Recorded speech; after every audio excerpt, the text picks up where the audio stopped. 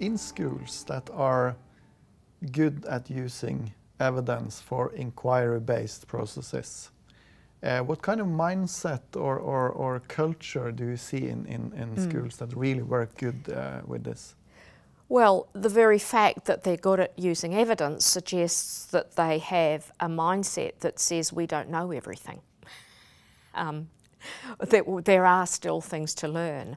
Uh, I've been teaching, let's say, for 25 years. Um, I, I've developed a whole set of assumptions about how to teach, um, but I still need to be open to learning that my assumptions uh, uh, work for these students in 2015 in this context with this curriculum.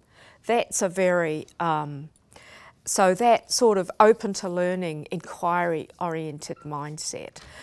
Another, another mindset is the, the idea that um, it's not only about my learning, it's about my responsibility to help others learn.